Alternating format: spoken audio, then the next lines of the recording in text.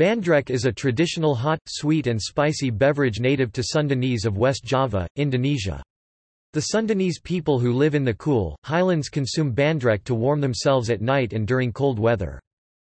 This hot beverage is made of a mixture of jahe ginger essence, gula merah palm sugar and kayu manis cinnamon. Other ingredients such as, star anise, cloves, coriander seeds, cardamom pods, lemongrass, and a small amount of black pepper are sometimes added. Milk can also be added to the mix, depending on one's taste. Sweetened condensed milk or coconut milk is commonly used for this purpose.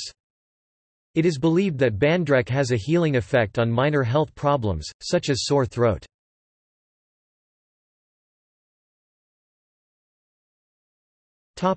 Variations Sometimes pieces of young coconut flesh are added as well.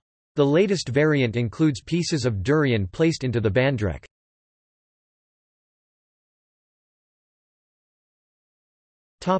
See also. Bajigor. List of hot beverages. List of Indonesian beverages. Wedang jahe